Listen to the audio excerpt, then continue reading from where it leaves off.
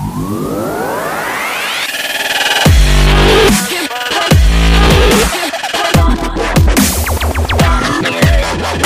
will be near uh, startup journey road that we attended the first gen uh, startup Huddle in India.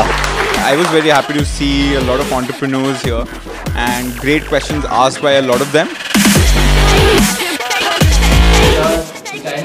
Even if uh, nobody wants to start up, it's a great inspiration for them to look into entrepreneurship and look for the possibilities that uh, the community has provided these startups and they can get uh, uh, as benefits from these communities.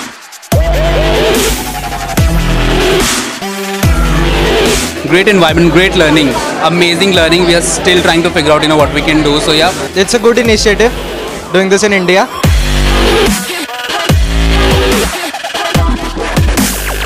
I'm all the more glad that it's happening for the first time in India. So, a very precious moment for me too, as a founder, being a presenter today. The program at Gen was uh, very nice, very informative. I think it was a good platform for all budding entrepreneurs to not just get a sneak peek into what goes uh, uh, into a making of an entrepreneur, but also the struggles that are involved uh, in entrepreneurship. Love to be here. This event was very energetic. Startup Huddle India. Startup Huddle India. Startup Huddle India. Startup Huddle India. Startup Huddle India rocks. Startup Huddle India. Startup Huddle India. Startup Huddle rocks. Startup Huddle India, you rock.